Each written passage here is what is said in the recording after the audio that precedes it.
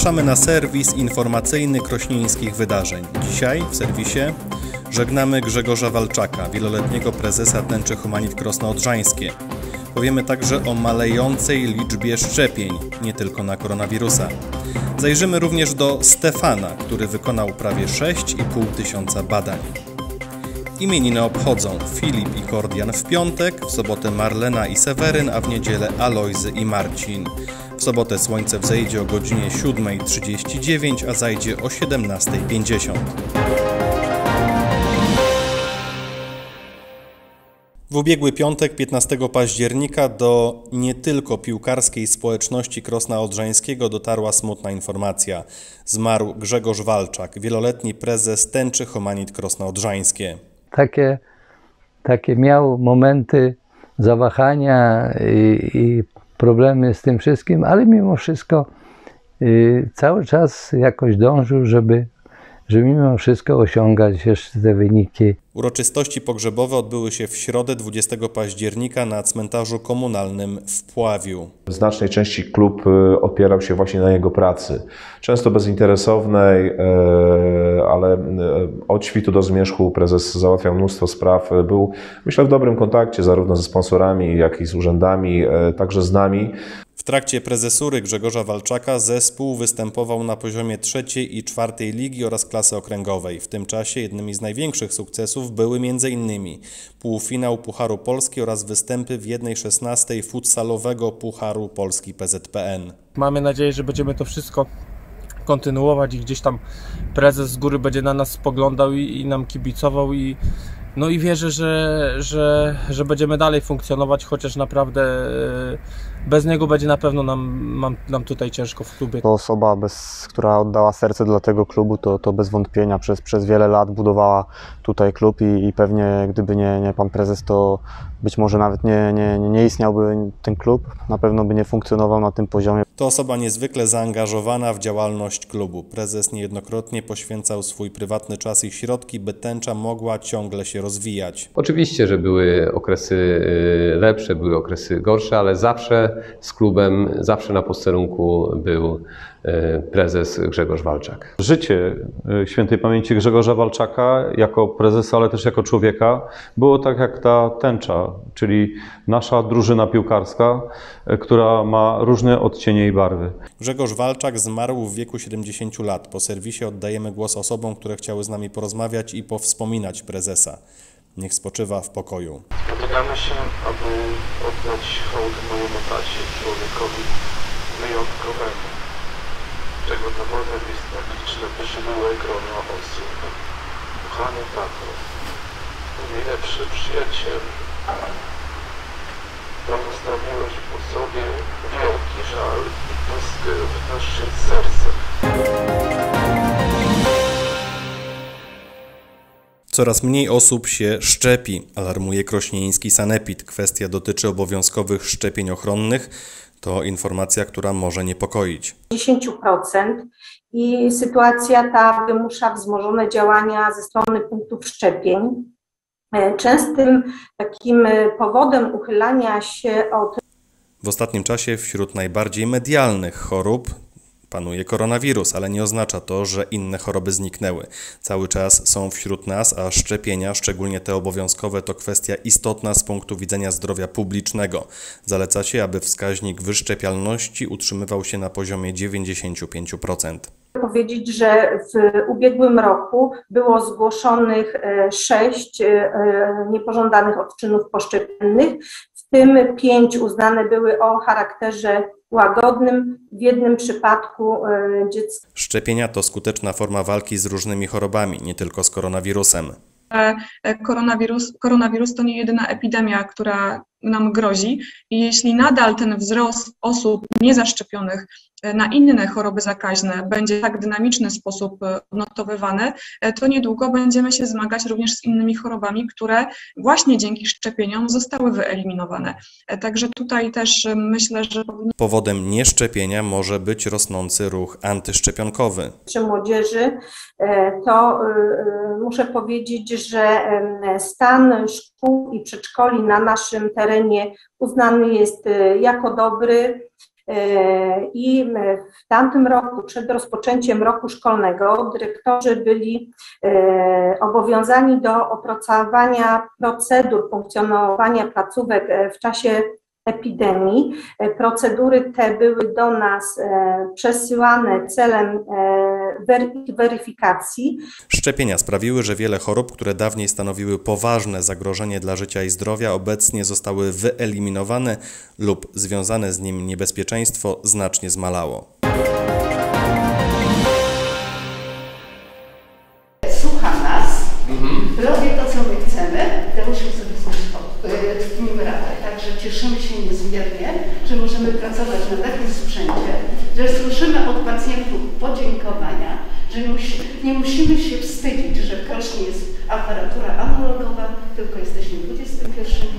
Prawie 6,5 tysiąca obsłużonych pacjentów w ciągu roku, czyli od chwili, kiedy nowy cyfrowy aparat RTG trafił do Zachodniego Centrum Medycznego w Krośnie Odrzańskim, a zdjęć wykonanych jeszcze więcej. To są liczby, które udowadniają, że ten sprzęt był i jest potrzebny w krośnieńskim szpitalu. Bogaciliśmy się o nowy aparat, nowe dziecko, jeden rączek ma w tej chwili i mam nadzieję, że w niedługim czasie za sprawą, pomocą tutaj samorządów i, i do tej pory osób nam życzliwych doczekamy się następnego niemowlaka. Mam nadzieję, że będzie to tomograf e, komputerowy, na którego też liczymy i długo, długo wyczekujemy. Przypomnijmy, zakup sprzętu nie byłby możliwy, gdyby nie dofinansowanie w wysokości 500 tysięcy złotych z województwa lubuskiego, o które zabiegał m.in. burmistrz Marek Cebula. Teraz, w tych czasach uda nam się doprowadzić do takiej sytuacji, kiedy też e, lekarze obecni z nami będą i Państwo będziecie pracowali na najnowszym sprzęcie,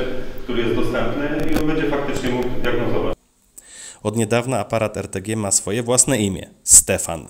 Sprzęt był kolejnym krokiem w kierunku rozwoju szpitala. Zdaję sobie sprawę, że był to krok milowy.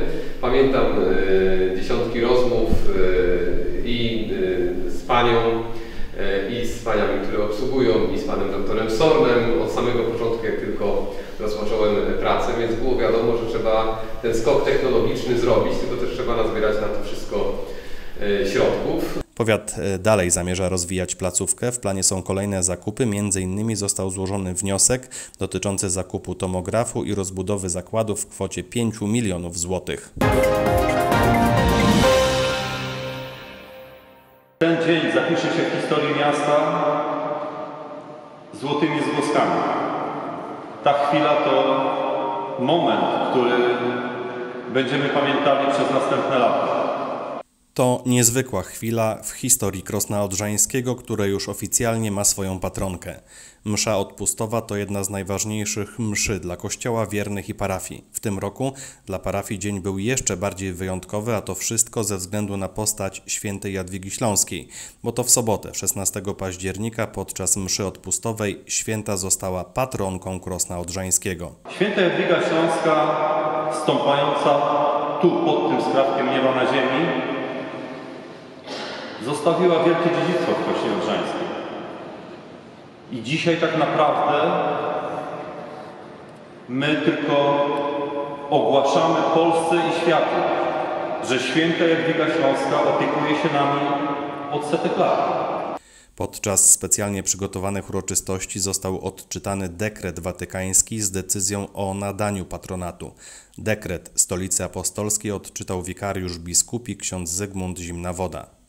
Kongregacja do spraw kultu Bożego i dyscypliny sakramentu mocą uprawnień udzielonych przez papieża Franciszka. Po rozpatrzeniu sprawy i uznawszy, że wybór oraz wyrażona zgoda przeprowadzone zostały zgodnie z przepisami prawa, przychyla się do prośby i zatwierdza. Świętą Jadwigę patronką Pana Boga miasta Krosno Odrzańskie. Kult świętej Jadwigi Śląskiej w Krośnie Odrzańskim jest widoczny na wielu płaszczyznach, nie tylko w sferze czysto religijnej, ale także m.in. w nazwie historycznego placu świętej Jadwigi czy w jej wizerunkach na sztandarach. Gratulacje z okazji nadania patronatu spływały do Krosna Odrzańskiego z różnych stron. Święta Jadwiga Śląska jest już patronką Dębicy, Trzebnicy, Nowobrodźca i Wlenia. Przesyłając pozdrowienia o grobu naszej wspólnej patronki, życzę Wam jej orędownictwa i wsparcia na drodze prowadzącej do Boga. Teraz już oficjalnie można powiedzieć święta Jadwiga Śląska patronką Krosna Odrzańskiego. To są jubileusze godne pozazdroszczenia, a pary mogą być wzorem do naśladowania przez obecne młode pokolenie. 38 par małżeńskich doświadczyło wyjątkowych chwil. W sali tysiąclecia Urzędu Miasta w Krośnie Odrzańskim burmistrz Marek Cebula w imieniu prezydenta Rzeczypospolitej Polskiej wręczył medale za długoletnie pożycie małżeńskie.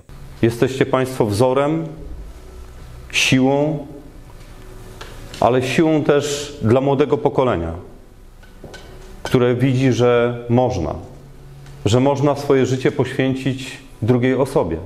Medal za długoletnie pożycie małżeńskie stanowi nagrodę dla osób, które przeżyły co najmniej 50 lat w jednym związku małżeńskim. Te liczby budzą podziw i robią wrażenie. To ponad 18 tysięcy wspólnie spędzonych dni i jak to w życiu bywa, różnych dni. Ale to wspaniały jubileusz. Szybko, bardzo szybko. Dzieci dorosły.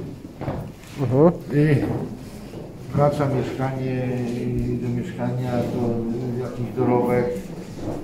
No i patrzymy, a już 50 lat. Czyli dobrze się żyło. Różnie to było, ale przeważnie dobrze. W sali tysiąclecia jubileusz świętowały także pary z 55, 60, a nawet 65-letnim stażem, które medalem zostały odznaczone już wcześniej, a tym razem otrzymały wyróżnienia i upominki. 50 lat to mnóstwo wspólnych chwil i wspomnień. Przeleciało jak zbica czas, naprawdę i tak podejrzewam, że wszyscy się dziwią. Tak szybko to minęło w ogóle. W ogóle mijają teraz tak szybko te dni, tygodnie. To dla mnie pierwszeństwo, priorytetem jest mąż, dzieci i po prostu y, wiedzieć to, co y, no, swojego męża. Po serwisie zapraszamy wszystkich, zarówno odznaczone pary, jak i ich rodziny, a także wszystkich chętnych do obejrzenia relacji z tej niezwykłej uroczystości. W 1996 roku szkoła w Wężyskach została przeniesiona z wówczas zajmowanego obiektu do nowo wybudowanego budynku. W tym roku placówka świętuje 25-lecie swojego istnienia. W związku z tym nie mogło zabraknąć uroczystości upamiętniających dwie i pół dekady działalności szkoły. 25 lat gromadzenia sukcesów i porażek. 25 lat, gdzie absolwenci opuszczali mury tej szkoły. 25 lat życia nauczycieli. Większość od początku tej szkole pracuje. Patronką szkoły w Wężyskach od 10 stycznia 2007 roku jest święta Jadwiga Śląska. Z okazji 25-lecia istnienia szkoły nie mogło zabraknąć występów artystycznych i to zarówno uczniów, jak i nauczycieli. Chciałem być marynarzem.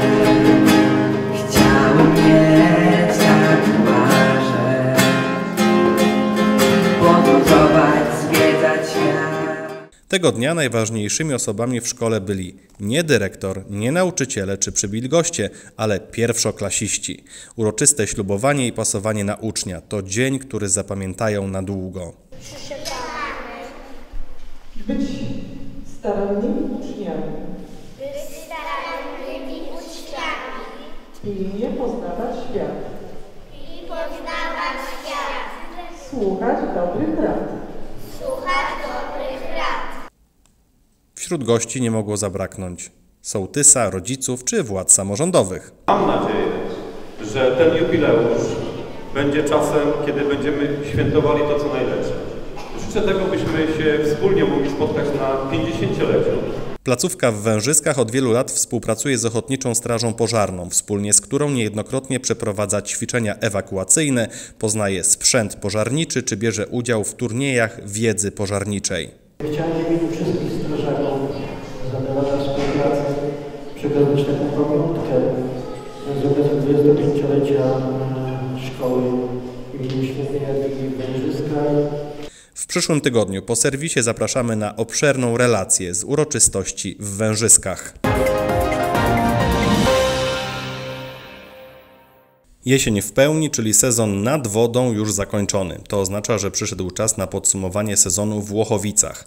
Kąpielisko Glibiel jak co roku było miejscem spotkań mieszkańców gminy, powiatu, a także przyjezdnych. W tym roku troszeczkę mniej ludzi skorzystało z uwagi na fakt, że no, pogoda nie zawsze dopisywała, w przeciwieństwie do roku ubiegłego, kiedy jeszcze był, były pewne obostrzenia w Europie i część ludzi wolała zostać w Polsce, e, czy dwa lata temu, gdzie też tych ludzi było więcej uwagi na pogodę, no w tym roku było mniej.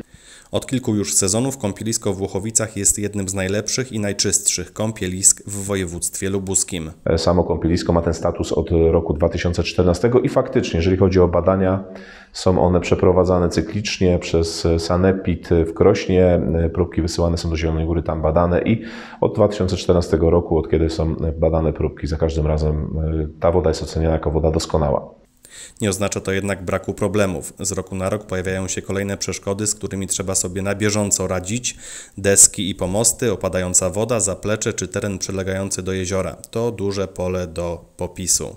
Mamy ograniczone możliwości jakby rozbudowania infrastruktury na naszym kąpielisku, więc musimy zadbać o to, co mamy w naszej części, w naszej władzy i co możemy z tym zrobić. Cały pomost był budowany 15 lat temu. We wrześniu 2006 roku. Tak, także to y, działanie środowiska, wody, prawda, y, wszystkich czynników atmosferycznych wpłynęło na to, że ten pomost wygląda tak, jak wygląda. Jezioro Glibiel jak jezioro w Dąbiu? Wiele osób zastanawia się, czy jest to w ogóle możliwe, by w Włochowicach mogły odbywać się tak duże imprezy, jak chociażby tegoroczne lubuskie lato kulturalne z Dąbia. Trzeba pamiętać o jak gdyby trzech rzeczach, które, nad którymi ośrodek w ma przewagę. Pierwsza to to, że jest to właściciel prywatny, który może wyłożyć dosyć duże środki. Tam jest dosyć duży teren nad jeziorem, plaża, jest możliwość uzupełnienia infrastruktury, czy też wykorzystania infrastruktury i kolejnym punktem, który jest jak gdyby za Dąbiem, to jest baza noclegowa. U nas niestety tego nie ma. Nie oznacza to jednak, że lokalne kąpielisko nie może być miejscem organizacji mniejszych imprez, które być może już w przyszłym roku odbędą się nad jeziorem Glibiel w Włochowicach. W jeden weekend noc bibliotek dla seniorów, tydzień później noc bibliotek dla dzieci. Tak minęły dwa piątkowe wieczory w krośnieńskiej mediatece. Noc bibliotek dla dzieci stała pod znakiem kultury indiańskiej. Dzieci w wieku od 7 do 12 lat poznawały indiańskie zwyczaje poprzez zabawę. W mediatece stanął namiot tipi, w którym uczestnicy nocy bibliotek mogli spędzić czas, a nawet rozpalić ognisko. Oczywiście za pomocą latarek i sztucznego światła. Pogoda pozwoliła także na naukę strzelania z łuku. Jednym z rozpoznawalnych indiańskich symboli jest pióropusz, czyli nakrycie głowy używane przez indiańskich wojowników. Podczas nocy bibliotek dzieci tworzyły własne pióropusze, a wcześniej każdy uczestnik wydarzenia nadał sobie wyjątkowe indiańskie imię. Tegoroczna odsłona nocy bibliotek pod hasłem Czytanie wzmacnia była siódmą odsłoną ogólnopolskiej akcji.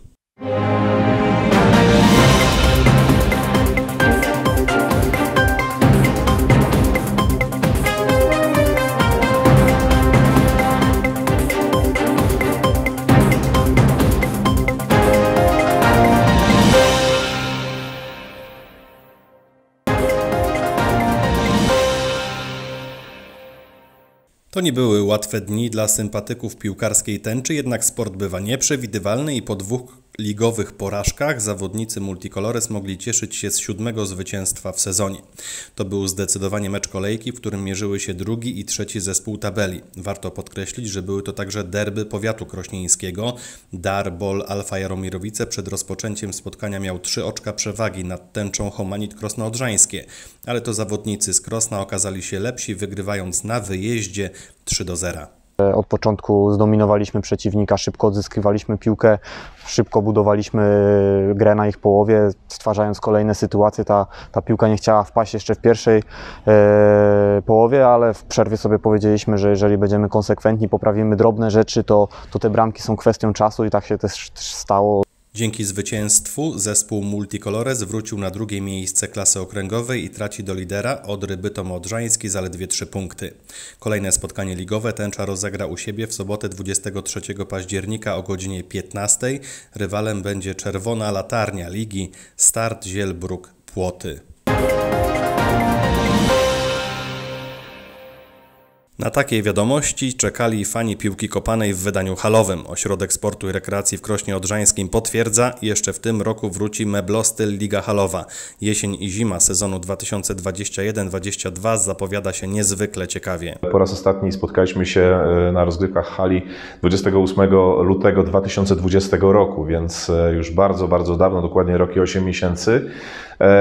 To, co mnie również cieszy, to fakt, że nadal patronem tytularnym, naszym partnerem pozostaje firma Meblostyl państwa Szymczaków, Galeria Wyposażenia Wnętrz. E, No i pod tym szyldem dalej będziemy e, rozgrywać e, tę imprezę. Pierwsze mecze 19 edycji planowane są w środę 24 listopada. No i oczywiście jak zwykle będzie i transmisja, i wszelkie informacje na naszych stronach, także zachęcam do zapisów i oczywiście do kibicowania. To jednak nie wszystkie wiadomości związane z futsalem. Krosno Odrzańskie niejednokrotnie udowodniło, że właśnie tutaj można zorganizować wysokiej rangi wydarzenia sportowe.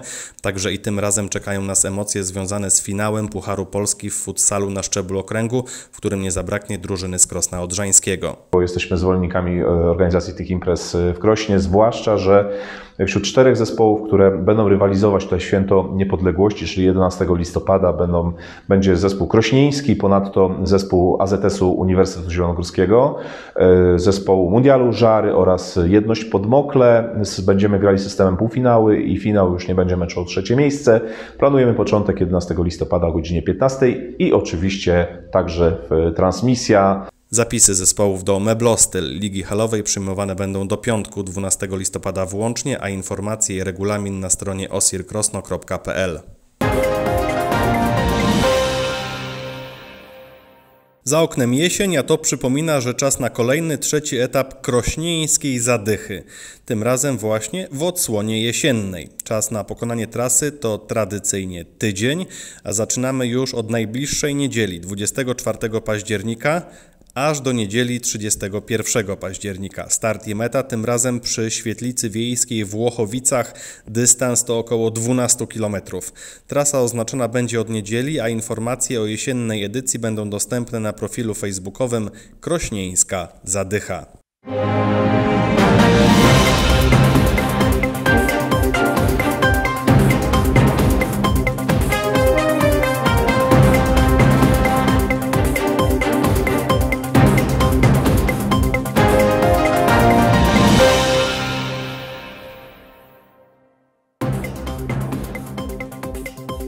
O temperaturach zbliżonych do 20 stopni możemy tylko pomarzyć. W weekend będzie pochmurno, termometry wskażą zarówno w sobotę, jak i w niedzielę 11 stopni w dzień, a zaledwie 1, jeszcze powyżej zera, w nocy.